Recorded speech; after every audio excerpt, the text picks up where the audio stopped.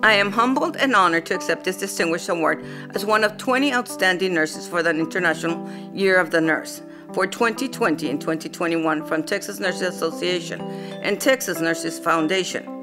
I chose to be a nurse because the first person to show me compassion was a nurse who would bring clothes and food to my family. Her love for her job and the community made me realize my life's passion of caring for others. I knew that from then on I would be a nurse. I have experienced many challenges throughout my 32 years of being a nurse. Loss of family time due to advancing my career, working in hostile environments, and working long hours. However, my passion is helping the community, and that is what makes a world of a difference. Thank you.